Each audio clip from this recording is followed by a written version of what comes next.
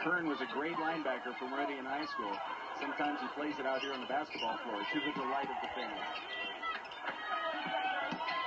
Taking it into traffic. Up and just a little short. Wilson Foster saves. He had stepped on the line. Is the ruling by the official. Wilson's foot was on the line when he scooped it off the Eastern player.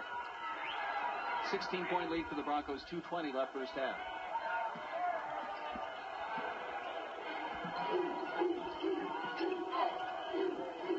I'll tell you, the Broncos have done a great job of forcing Eastern Washington out.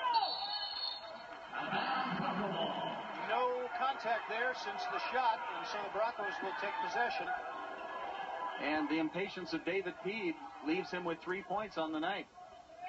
An average of 21.9 on the season. He led Eastern in eight straight games during one point in which he averaged six, 26 points a game over that stretch. Wilson Foster working against Peed. Scott Kern, Chris Childs, Rich Blight. Gets a screen from Johnson.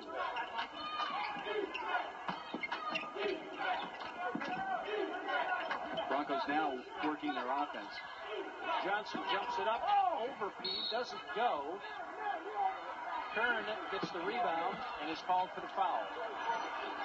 Yes, Bobby Dye applauds the aggressiveness, though, of Scott Kern.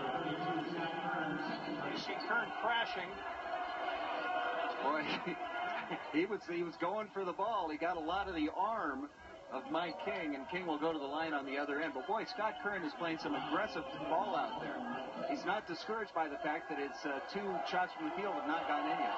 And really, that's the most important thing for any freshman player this team to get the court time and not be discouraged when, when the things happen that, that are going to happen through lack of experience and, and lack of playing time. This is Mike King, the oldest member of this Eastern Washington group, at 24. One of two, and Childs controls the rebound.